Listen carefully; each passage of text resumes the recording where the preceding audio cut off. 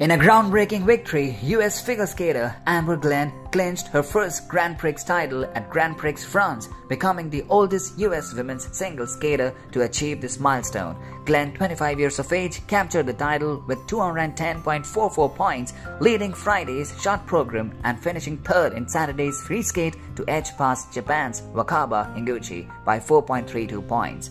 Glenn's success marks a pivotal point in her career as she is also the oldest first-time women's champion of any nationality since 2006. The Dallas native, who returned strong after dealing with multiple injuries and setbacks, delivered an impressive short program featuring a triple axel, setting an American record. Her free skate was marked by three errors, including a fall on a triple flip, yet her high score in the short program secured her the overall lead.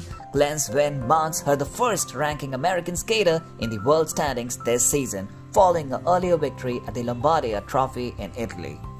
The victory represents a significant comeback for Glenn, who suffered severe concussions in both 2020 and 2023. She withdrew from the 2022 US Championships after contracting COVID-19 but remained undeterred, capturing the national title in January 2023. Overcoming mental and physical hurdles, Glenn said of her performance, This is proof for myself I can do it. The Grand Prix weekend also saw world bronze medalist Adam Siao Him Fa of France soar from 8th place to claim the men's title, while US bronze medalist Andrew Torgashev celebrated his first Grand Prix podium finish in 3rd.